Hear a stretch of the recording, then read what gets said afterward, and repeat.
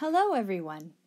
We have already learned how to get the slope from a graph from a previous video, and also how to determine the slope from two points. Today we will look at the slope-intercept form of an equation. Let's just take a moment to review what the slope is. Remember, it's the rise over the run.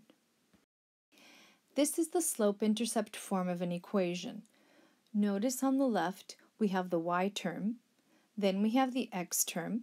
This m represents the slope, which is the rise over the run, and this b represents the y-intercept. This is the point on the y-axis where the line will cross. In the past, you may have used an input and output chart and taken the ordered pairs generated to draw a line. Suppose that our first x value is 0. We would substitute it into the equation. We would multiply 2 times 0 and get 0, then add 2, and so our y value would be 2. Suppose that our next x value is 1, we would substitute it into the equation, multiply 2 times 1 and get 2, then add 2, and so our y value would be 4. And if our x value were 2, we would substitute it into the equation, multiply 2 times 2 to get 4, then add 2, and we would get 6 as our y value. This exercise using the input-output chart shows us why the x is called the independent variable, because its values are independent of anything that we do. Yet the y values are called the dependent variable because they depend on the x values that we choose.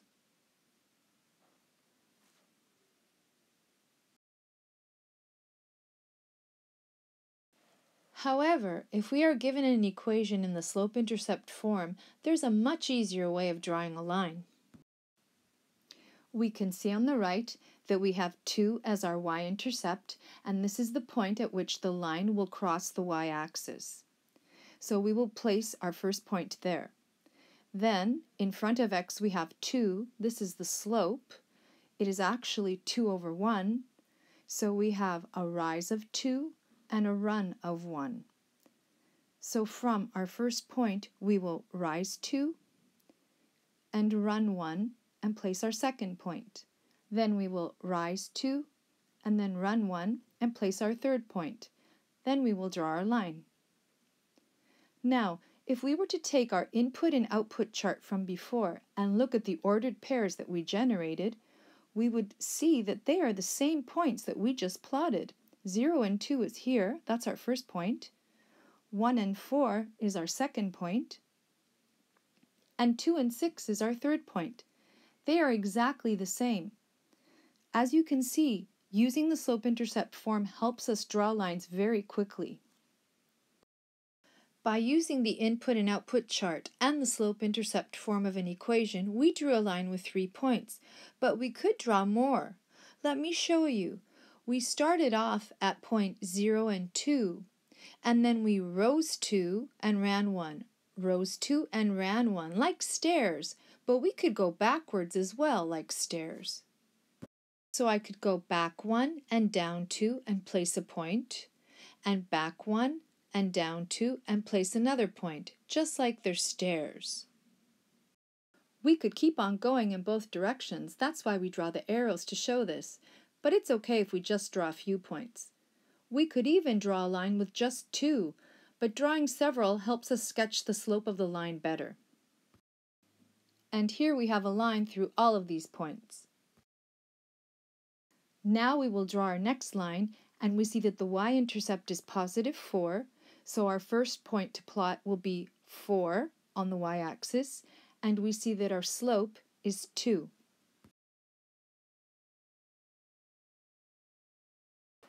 So we're going to place our first point at positive 4, and we're going to rise 2 and run 1, and place another point, but we see we've run out of room. But that's okay, we can go down the stairs as well. So we can go back one and down two, back one and down two and place another point, back one, and down two, and place our last point. And we can draw our line through all the points and place our arrows, and we're done. We're going to draw our next line, and as we look at it, we see that there is no y-intercept. Well, there's nothing. When there's nothing, there's zero. So that means we're going to start drawing our line at zero on the y-axis. The slope is 2.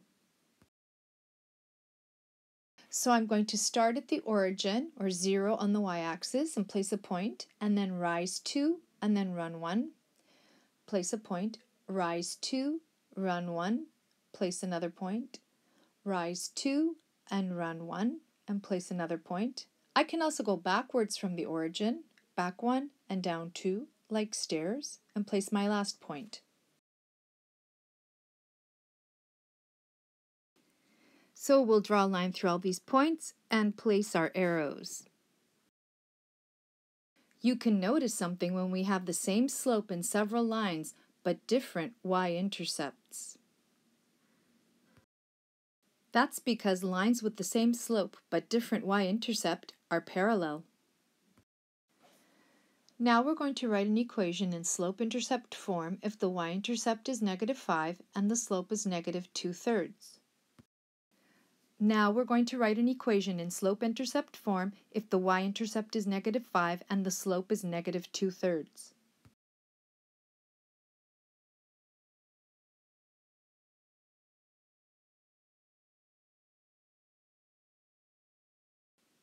Remember, we need to use the slope-intercept form of the equation.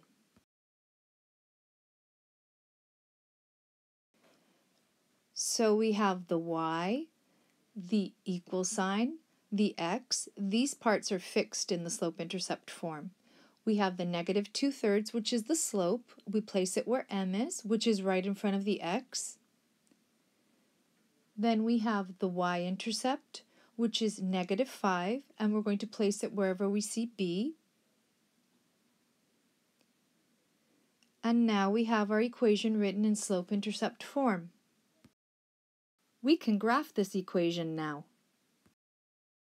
The y-intercept is negative 5, so I will place my first point at negative 5, then I will go down 2 and run 3 and place my next point. I see I'm running out of room, so I can do the stair thing. I can go backwards. So I can go back 3 and up 2, place a point, back 3 and up 2 and place a point, then draw my line and place the arrows and we're finished.